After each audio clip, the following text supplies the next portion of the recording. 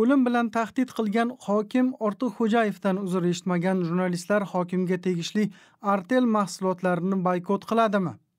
Kun uz nisbatan to'liq deb e'lon qilgan audio yozuv nega qirqilgan? Prokuraturaning toshkent shahar hokimiga kuchi yetmaydimi? Kun uz nashri hokim ortiqxo'jayev bilan uchrashib hamma narsani kelishib olganini aytganidan so'ng ijtimoiy tarmoqlarda g'azabnok munosabatlar nishoniga aylandi. Izoh qoldiruvchilar hafsalasi pir bo'lganini yashirishmadi. Hokimning o'zi kunuzga qaratilgan tanqidlar soyasida qolib ketdi. Kunuzning maxsus muxbiri shuhrat shokirjonov ijtimoiy tarmoqlardagi sahifalarida voqealar silsilasi borasida o'z talqinini bayon qilarkan osmon uzoq yer qattiq deb yozdi. Jurnalist voqealar markazidagi asosiy qahramon kun nuqta uz tasvirchisini oldiga solib quvgan va uzr so'rash o'rniga jurnalistga video orqali tuhmat qilganini aytilayotgan olmazor tumanining endilikda sobiq o'rinbosari abdurasul vahobov haqida yozgan. Prokuratura ikki marta vahobov ishida jinoyat alomatlari yo'q deya ishni yopgan edi.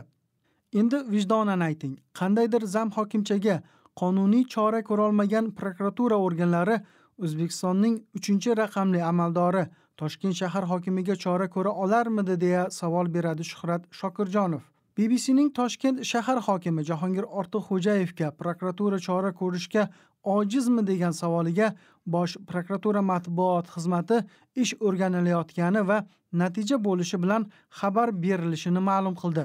Toshkent shahar hokimi bilan shu insident bo'yicha murosa qilindi. Lekin ich ichimizdan baribir bunaqa hollarga murosasizmiz chunki hokimda qilgan ishidan zarracha pushaymonlik tuyg'usi yo'q deb yozdi shuhrat shokirjonov.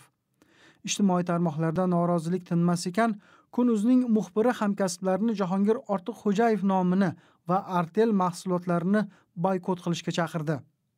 Ayni paytda kun uz sayti hokimning jurnalistlarni tahdid qilgani eshitilgan audioning o'z ta'biricha nisbatan to'liq versiyasini e'lon qildi.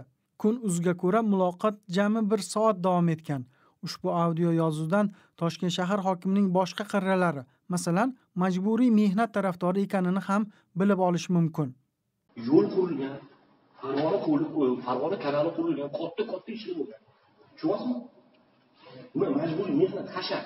Man bitta majburlashyapti man mana bu qadriyatimiz-ku bizani audioni o'zining telegram kanalida e'lon qilgan bloger nurbek alimov esa nisbatan to'liq variant deb aytilayotgan audio faylda hokimning suvda cho'ktirib o'ldirib yuborish haqidagi tahdidlari yo'qolib qolganiga e'tibor qaratgan. Uch kun bitta besabab uydan chiqib ketlaring. Yo'qolib qoldilaring. Uch kun besabab bitta uydan chiqib ketlaring. Вы хотите этого uch kun yo'q bo'lsa hamma jimjit o san tirikmisan hech kim xabar olmaydi aytib qo'ysan. Hech kim o'tib ketdi yozishadi bir xatiraga unutishadi. Bo'ldi qadar cho'kib o'lganlarda cho'milayotgani ko'zsiz deyishadi amerikaning toshkentdagi elchixonasi jurnalistlarga hokim tomonidan bo'lgan tahdidni qoralab chiqdi.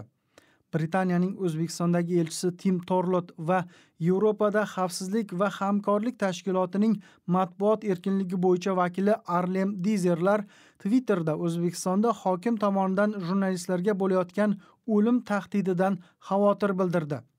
Toshkent shahar hokimligi matbuot xizmati bbcning turli ko'rinishda uch marotaba hokim bo'lib o'tgan voqealar yuzasidan uzr so'raydimi deb bergan savollarini ochiq qoldirdi. Jahongir ortiqxo'jayev o'zbekiston senati a'zosi hamdir.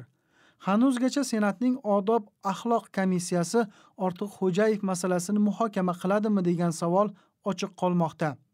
Senat matbuot xizmatidan ushbu savolga javob olishning imkoni bo'lmadi.